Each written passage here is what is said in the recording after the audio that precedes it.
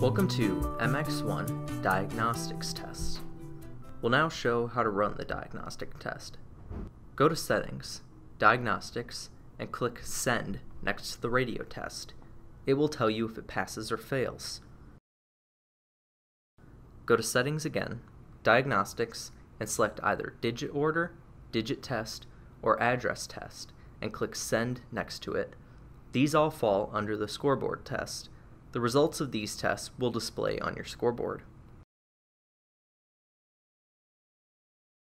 If you would like to change your scoreboard's name, go to Settings and click on the current name of your scoreboard.